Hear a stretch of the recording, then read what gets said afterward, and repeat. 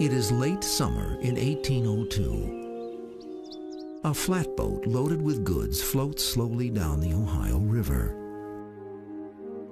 Stretching more than 1,200 miles, the Ohio is the trade route linking the American East, the French-held port of New Orleans, and the Spanish territory west of the Mississippi.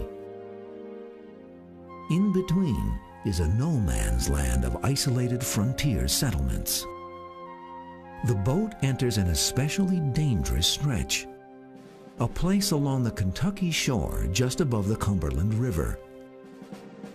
A navigation guidebook of the day warns of treacherous waters filled with unseen shallows and snags. On the Ohio's right bank, you may find persons who are sometimes employed to pilot boats through this serpentine channel it is better to pay a dollar or two for this purpose than run the risk of grounding. But there is one danger the book fails to mention. On the west bank, a cavern comes into view. It is known as one of the river's natural wonders, called by the French Caverne dans le Roc, cave in rock. On this day, however, it has a new name, scrawled on a makeshift sign, Wilson's Liquor Vault and House of Entertainment. Cave in Rock became in many ways like Hole in the Wall was in the period of the later Wild West out in, out in Wyoming. Uh, a place where wild and desperate men congregated and a large band of outlaws sort of loosely joined together and there could find sanctuary. And uh, always was a great uh, and favored uh, sort of uh, place of recreation. Many boats drop anchor on the cave's small beach. Some seek only a guide or merely to replenish their supplies. But others are drawn by rumors of the cave's more sordid entertainments. A gambling den and brothel. The unwary who visited that place of entertainment often found themselves entertained in ways they hadn't anticipated the Ohio can be a perilous river. Many boats start down to New Orleans. Some never arrive. Storms are blamed, or hostile Indians. The hired boatmen who disappear with their cargoes are suspected of being thieves. So far inland, few think to attribute the losses to pirates no survivors to argue the point. People wonder why we talk about pirates at Cave in Rock when it's hundreds of miles away from the ocean. But under English law, acts of piracy could be uh, on the open sea or they could be on rivers. And what was happening at the cave certainly fit the definition of piracy. In fact, if you were a victim it didn't matter if it was Pirates of the Caribbean or the Pirates at Cave in Rock. Either way, you likely faced a watery grave. Within a year, the American government will negotiate the Louisiana Purchase, obtaining huge tracts of open land from France. And during the half century they are in operation, flatboats will bring an estimated 1 million travelers down the Ohio River. Not only did the rivers carry merchants with their goods down to New Orleans, but of course, thousands of travelers journeyed on the rivers on their flatboats, heading down to the western settlements, going to find a new life. The very nature of their kind of travel and the transient nature of their life meant that people back east didn't expect to hear from them again for a long time. So their disappearance would simply not be noted. The flatboat, the most popular form of transportation in the decades before the steamboat, proves a perfect target. Most are little more than unwieldy, oversized rafts. Carried by the current, they are designed to go only one way. Once a flatboat is launched, there is no going back. The entire possessions of a family were on that flatboat, and so it was an attractive target for river pirates.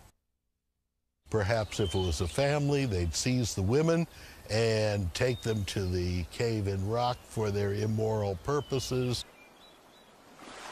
It was an evil time on this stretch of the river. The pirates develop a range of attack strategies. Sometimes they had their women out acting as victims of a, of a flatboat accident, trying to lure people in to that area to help them, you know, take them downriver. The only trouble is as soon as you got close to the cave, uh, that put you at risk of, of being attacked. But not all the attacks are on water. Running through deep woods and isolated wilderness are trails bringing travelers to the banks of the Ohio and the Cumberland rivers, where ferries are the only route to cross from one state to another. These people, of course, going into a new land, uneasy but still full of optimism, were perfect victims for the river pirates who would come along, for instance, and offer to pilot them on the river, who would uh, come along and offer to guide them and show them uh, where the best lands were to stake out, who would befriend them, and of course, uh, lead them to their dooms. For the pirates, it is an ideal situation. Most of the settlers, coming from the civilized East into the unsettled, isolated, and lawless West, are easy victims, unprepared and naive. And the river route itself was a wild and lawless territory. American settlement hadn't reached it, and the river itself was not controlled by the Spanish, certainly not by Spanish soldiers or Spanish law. Even the honest settlers in the region do little to raise the alarm. The outlaws and the brigands on the western rivers worked in conjunction with the ferry boat operators, with uh, folks who ran the wayside inns. These individuals provided a market for their stolen property. They were all in the business of making money off western transportation. This permissive atmosphere, where thievery was expected and the occasional rape or murder could be overlooked, is an open invitation to outlaw gangs. But with them will come an evil no one expects, and eventually no one can ignore. They are known as Big Harpe and Little Harpe. Born in Tennessee, they are said to be brothers or perhaps cousins. Although they may not share a family bloodline, they do share a kindred love of murder. During 1799, they will descend on western Kentucky, killing every unlucky traveler, settler, or woodsman who crosses their path. One man who counted up the known victims put the total at 39, but he admitted that there were probably more. The classic technique for the Harpes was to take a body remove the entrails, put stones in the body cavity, and sink it in a river so that not all of those bodies were found. Years later, when a full account of the killings is finally published, the number of dead and the violence of the crimes provokes disbelief. One newspaper defends its story by writing, The depravity and the bloodshed which marked the Harpes' existence are circumstances too strongly impressed upon the recollection to be contradicted at this date. It may be regretted that such monsters as the Harpes ever should have existed, but it is an uncontrovertible fact. Big Harpe, whose real name is Micaiah, and his brother Wiley start their criminal careers as petty rustlers and thieves, preying on their neighbors in isolated settlements in Kentucky and Tennessee. It is the American Revolution that gives them their first taste of killing. We think they may have been born in Scotland and immigrated as children with their parents. Um, it was very pro-monarchy. What we do know is that the Harpes got their start fighting the Americans uh, during the Revolutionary War in the 1780s. It is during this time that the brothers kidnap two women they refer to collectively as their wives. Then, in 1797, the daughter of a preacher joins them near Knoxville, Tennessee.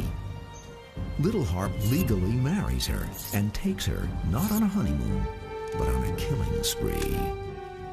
They would be riding down the road and they would come across a traveler or a travelers would catch up to them. If it looked like someone who would have some money, or at that point, if they needed some decent clothes, uh, and, the travelers had some better ones than that what they had on, uh, they would sneak up on them. They would give a, a silent signal to each other, and immediately attack, uh, usually giving the, the victims no chance to react. The Harpes use their women, who are often pregnant or suckling an infant, to evoke pity. One Kentucky innkeeper witnesses a typically deadly encounter. While breakfast was preparing, the Harpes and their women came up. Their appearance denoted poverty, but with little regard to cleanliness. Squalid and miserable, they seemed objects of pity rather than fear, and their ferocious glances were attributed more to hunger than to guilty passion. The next morning, the Harpes leave in the company of their new benefactor. The charity of strangers was their undoing because the Harpes were interested not only in the goods these people might have, but in the sheer pleasure of killing them. The discovery of the Good Samaritan's body raises a general alarm throughout western Kentucky. A rash of similar crimes is now linked to the Harpes. As the number of their murders escalated and as they became more brazen, they became well known. And bands of citizens formed together and hunted them down. The Harpes escape, leaving their women to face arrest and trial.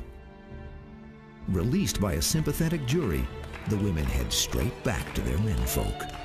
They rendezvous at the one place they know will offer sanctuary, Cave in Rock. There, the Harpes take naturally to river piracy, joining the other outlaws in capturing flatboats. But even for their hardened criminal companions, the brothers prove too violent. After one of these raids, they had one survivor from the flatboat. And while the pirates uh, were holding a party in the cave, the Harpes thought it would be fun to take the survivor up to the top of the bluff. They stripped him, tied him on a horse, blindfolded the horse, and ran the horse off the bluff so it would fall into the rocks in front of the cave. Now, the pirates inside the cave heard the hoofbeats on the rock. They, they heard the, the sky screaming, and they heard the horse. They, they ran out to find out what was going on, only to see the horse and the rider to plummet to their death right in front of them. The behavior of the Harpes was even beyond the bounds of what was expected from river pirates, and eventually the Harpes found it wise to move on. It is July of 1799. Now outcasts even among their own kind, the Harpes embark on a final killing frenzy. They head back toward Knoxville, kill several settlers, then a month later change direction and return to Kentucky. There, more killings take place. But the extent of the atrocities and the Harpe's involvement are not well publicized. The people from the Knoxville area, they know about the killings in, in the Knoxville area. And in different towns, there's different killings. Sometimes at that point, local people didn't realize that it was the Harpes. I've seen a couple of times where newspaper accounts blamed Indians uh, for these massacres, yet based on accounts written later, uh, we know that the Harpes were behind it. As the summer wanes in the Kentucky counties near the Ohio River, more than a dozen travelers and homesteaders are killed and mutilated. Robbery is not the motive. Often nothing is taken from the victims but their lives. They killed for the joy of it. like a cat toying with its prey. They enjoyed it. They did it quickly, they did it efficiently, and usually they didn't waste powder and lead. So the tomahawk, the knife, was what they used. And with children, of course, and they were great child killers, um, strangulation or a handy tree against which a child's head could be bashed was, uh, was the way they operated. The killings intensify. An entire family is wiped out. An 11-year-old boy is killed. The only thing taken from him is his shoes. In response, the Kentucky governor posts a reward for the Harpes' capture. Posses are mounted. The closer pursuit came, the more they escalated their crimes. And the more society tried to capture them, the more they returned to kill and kill and kill. In the midst of this bloodbath, there is one inexplicable lull. The Harpes encounter an old man named Tompkins living in an isolated cabin. Somehow they convince this man that they, the Harpes, who had killed 37 people in the last nine months, were two Methodist ministers going to their next revival. The man invites the two traveling ministers to a meager dinner. Because Tompkins has to apologize for the, the lack of meat in the stew, they start talking about the hunting in the area. And Tompkins has to admit that he's out of powder. So, in an act of generosity, Big Harpe takes his powder horn and takes one of uh, Tompkins' cups and fills it up uh, and gives him some of, some of his own powder. This single act of mercy comes back to haunt them. A posse riding through western Kentucky recruits Tompkins to identify the fugitives. Within two days, they catch up with the Harpes. Some of the posse members fired.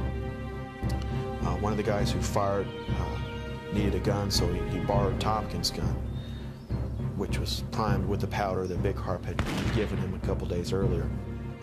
Big Harpe falls, shot through the spine by a bullet fired with his own powder. Little Harpe escapes, and the women surrender. The posse takes its revenge on Big Harpe. They took Harpe's head, they put it in a saddlebag, and collected the women and headed back to the crossroads about 20 miles away. When they got there, they took his head, placed it in a fork of a tree, and for years, if not decades, that skull remained there. And um, throughout the 19th and early 20th century, that crossroads was always known as Harpe's Head, Kentucky. With the beheading of Big Harpe, settlers in four states breathe a sigh of relief. But the legacy of the river pirates is far from over. The outlaws of Cave in Rock are about to launch a new offensive. And somewhere in the Kentucky wilderness, Little Harpe still lurks. It is 1799. Big Harpe's head hangs at the crossroads as a warning to the region's outlaws. But the cavern known as Cave in Rock is a bustling center of increasing criminal activity. Overseeing the operation is one of the most cunning river pirates, a man named Samuel Mason. It is Mason who forms the gang that will use the cave as a gambling den and bordello, and a front for making and passing counterfeit currency. Unlike the Harpes, who were, appeared to be mostly killers and psychopaths, uh, Mason was an outlaw. He was in it for the money. So he wasn't as cruel as the Harpes, although many people still ended up dying at his hands. A former officer in the American Army during the Revolution, Mason is an educated man from a respectable Virginia family. His brothers are among the men recruited for the Lewis and Clark expedition, but Mason goes a different way. In the town of Red Banks, Kentucky, he becomes involved in a feud with the local constable. When the man is shot dead, Mason is the prime suspect. He seeks refuge in Cave in Rock, crossing the river into Illinois from Kentucky. In Kentucky, you have state government, you have county government, you have sheriffs, judges, militias that can turn into regulating companies that go after outlaws. Yet across the river, you have Illinois, which at this time is still the Northwest Territory, and the nearest county seat's over 120 miles away. There was no law, which made it was perfect for outlaws. Mason, one of the few outlaws who can read and write, soon becomes a leader of the local pirates. Over the next five years, he expands their activities to include robbing travelers on the overland trails. Once again, Mason uses a border, the Mississippi River, to his advantage. Mason and the river pirates used that very effectively. Spanish territory was just on the other side of the river. And indeed, there was no law on the river itself. So, so long as Mason carefully avoided committing any crime on Spanish territory, he knew he could simply escape across the river and get away from American authorities. Mason's favorite ploy is to surprise travelers while they are asleep or bathing, robbing them when they are most vulnerable.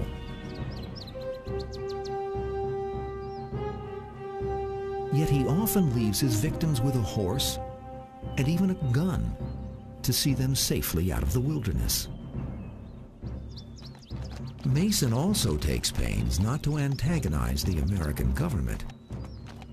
His gang allows the mail to go through unmolested. Mason himself even strikes up a friendship with the territorial mail carrier, John Swaney. The man later recounts their conversations. He said no mail carrier need fear being molested by him and his men, for mail was of no value to them, and he did not desire to kill any man, for money was all he was after. Mason seems to enjoy his notoriety as a gentleman robber. He frequently asks Swaney for reports on what is being said about him by the public.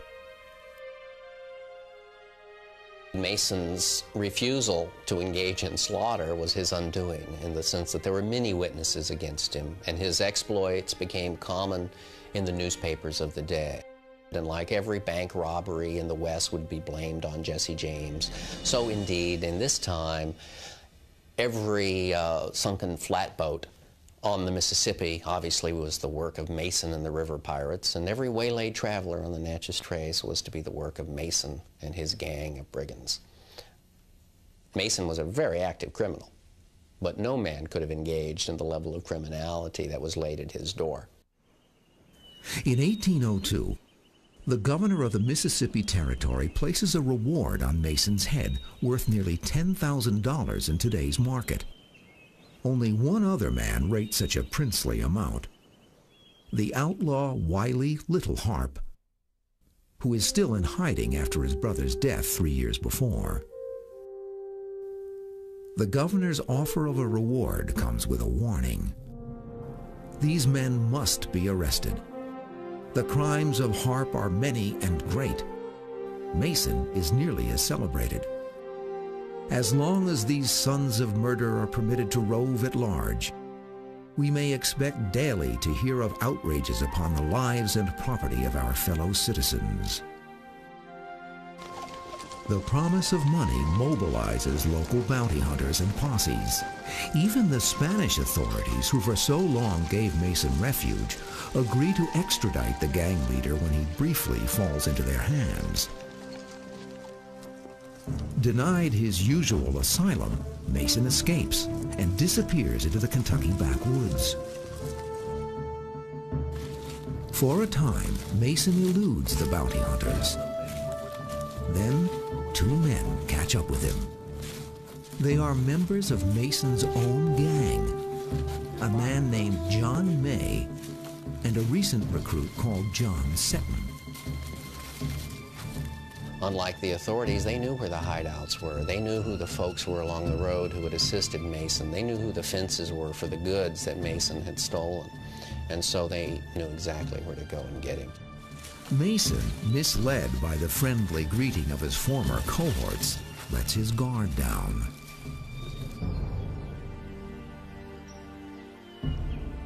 Like Big Harpe, Mason loses his head. May and Seton carry it back to Natchez to claim the reward. Their arrival creates a stir of excitement as noted in the local press. The head of Mason was recognized by certain scars and peculiar marks. Some delay, however, occurred in paying over the reward, owing to the slender state of the treasury.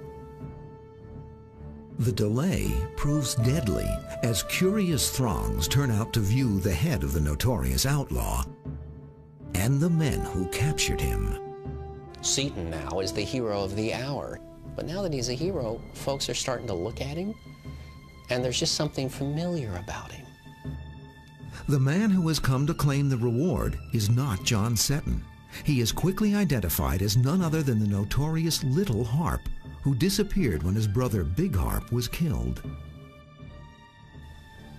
Little Harpe is, of course, hanged, and then he's decapitated just like his brother had been, and his head placed upon the road as a warning to other land pirates and river pirates and outlaws. And indeed, just like his brother's head wound up on that road far to the north, so now his head would stand as a symbol that law was coming to the west. As the population grows and civilization moves west, piracy is forced underground. It is 1815. Civilization has come to the land where the Illinois, Kentucky, and Indiana borders meet. Down a highway known as Ford's Ferry Road.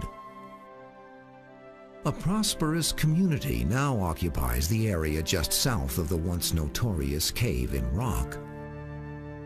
No longer is the cavern a center of lawlessness.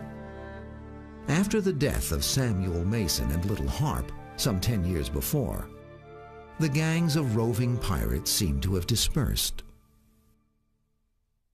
Or have they? By the death of Mason and some of the other major river pirates in 1804, 1805, the outlawry on the frontier there around Cave in Rock continued, but it didn't necessarily continue out in the open like it had been.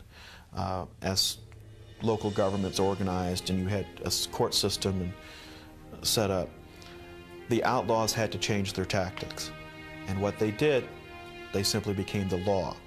So the heads of these gangs were also the ones who were serving as judge, or serving as sheriff, or constable, or justice of the peace.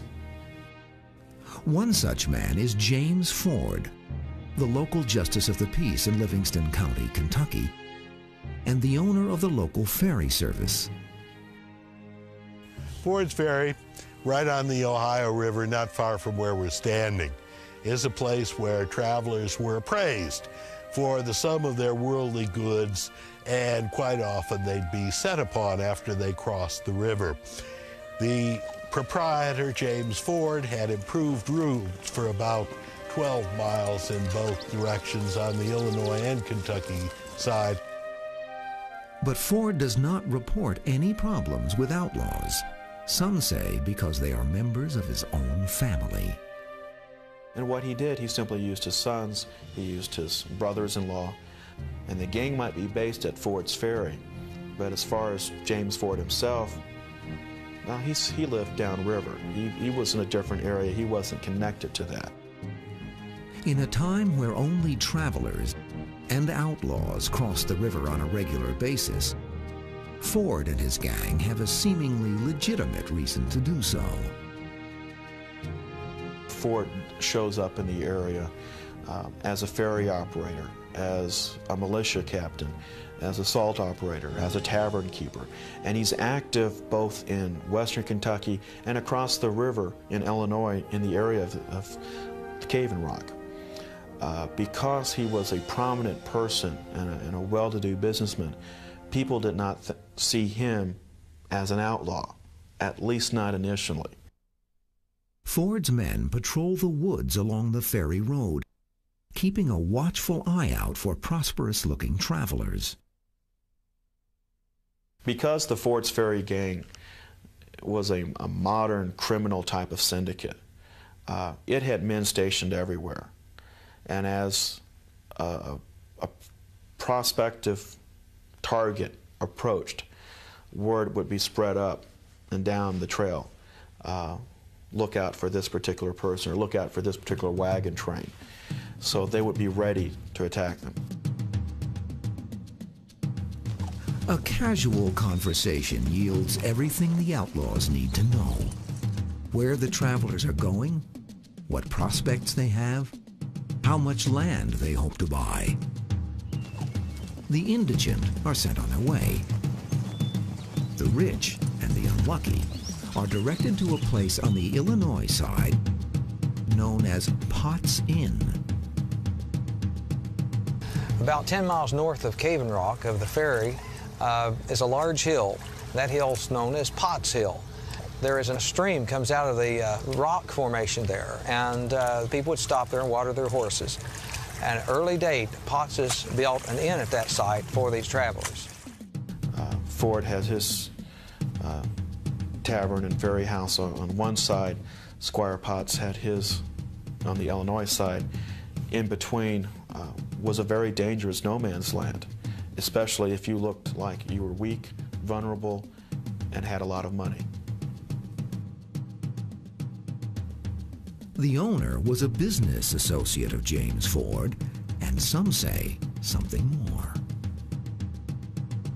The man at Potts Inn, Mr. Potts, uh, was a justice of the peace, but he was also a character that is associated with these assaults on, on travelers coming down the road. Um, the legend state people would cross at Ford's Ferry. The ferryman would get word up to Potts that here's someone that need to go. So if Ford didn't do the job on the Kentucky side or his gang, Potts would finish it in Illinois. Potts would welcome them at his inn and invite maybe the, the man of the family or, or, one of his victims out with him to go to the spring and uh, get some water. While admiring his all-weather spring, uh, he would knock him over the head and kill him right there. The only thing that remains is to dispose of the body and divide up the traveler's possessions. There is a cut of the take, some say, for Ford, Potts, and whichever gang member made the profitable referral. Although no charges are ever brought against the Potts, their alleged method of murder is whispered about for years. One story, perhaps a legend, concerns the couple's young son, Billy, a member of the Ford's Ferry gang. The Potts Inn story is this. The innkeeper had been per perpetrating murders at this inn for many years. His son became a, a co-conspirator and a murderer and robber and was doing the same thing. But he got caught on the, on the highway one day by some farmers, saw him doing one of his acts, and had to leave quickly, and he left this part of the state. Several years go by. Billy Potts builds a fortune through more legitimate pursuits. One day, he decides to pay a surprise visit to his family. He put on new clothes, had much money, had a fine horse, that and, and a big beard that his own father and mother did not recognize him. When Billy Potts stops to take a drink at the spring, he is given the same welcome as any wealthy traveler. The parents rob the body, take him out to the field and bury him in a shallow grave. The next morning, some of Billy's old friends come looking for him. They said, we just saw him last night, and he was coming to pay a visit on you, and he dressed up with a large coat and had a big beard and a fine horse, and he was going to show you a lot of money. Have you seen him? And they then realized that it was their son. They ran to the grave, dug him up, and tore up his shirt, and there was a birthmark that they recognized as their son. And so they had supposedly murdered their own son. After about 13 years or more of research on this story, we still can't say absolutely who Billy was, if he really was, what happened to him, if, he if Billy Sr. murdered his son, or what. And he, he, he disappears from the face of history, and we would like to know what happened to Billy. We don't know. One of the things that we do know is that there are a number of graves that we can still identify today in the immediate area of Potts Inn. Whether truth or fiction, the ironic death of Billy Potts is one of the last stories told in the saga of the river pirates. An era will soon come to an end. In the spring of 1811, a strange apparition appears on the Ohio River and slips past the denizens of Cave in Rock. It emits a pillar of smoke and moves at an extraordinary speed. It is the steamboat Orleans, the first steam-propelled boat to make the trip from Pittsburgh to New Orleans. For the moment, though, it is a curiosity. Steamboat technology will not come to the Ohio in full force until after 1816. But when it does, it changes everything. The speed of the steamboats makes them nearly impossible to attack. And they bring far more passengers than any gang of pirates can handle. In addition, the Western territories are becoming civilized. After the Louisiana Purchase, when America could establish civil government uh, on the west side of the river that would go after outlaws. That discouraged the, the whole era of river pirates.